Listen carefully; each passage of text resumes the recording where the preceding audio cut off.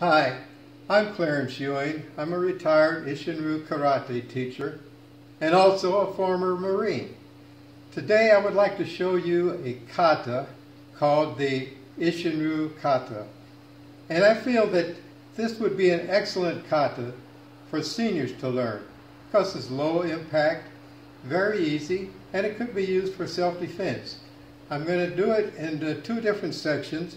First I'm going to do it in really slow and easy so that you can catch on to it and then afterwards I'm going to speed it up a notch. First we'll do a few stretches just to get you warmed up. Naturally if you were doing this at home on your own you would probably do more stretches than I'm, I'm going to demonstrate right now. I'll just show you the basic stretches that I use. First the neck, just to get it limbered up. Then the waist, the trunk.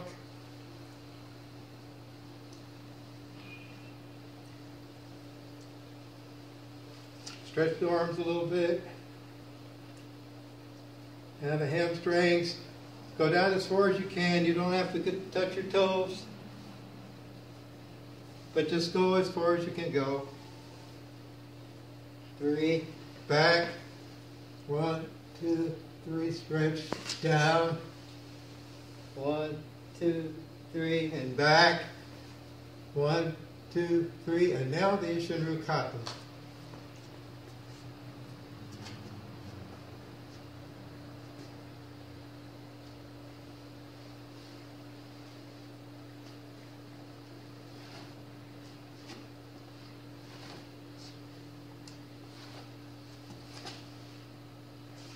Turn. Grab and pull.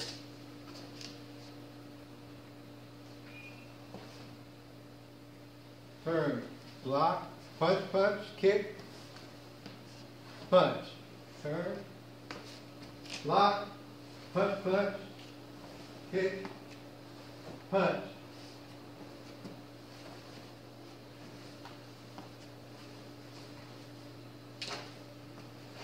Back fist.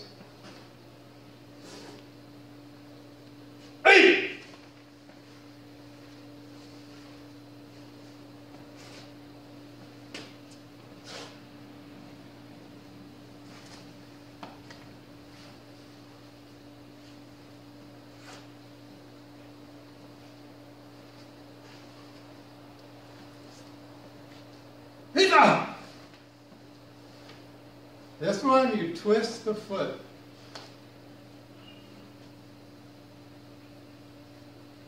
Now we're going to pick up the pace just a little bit.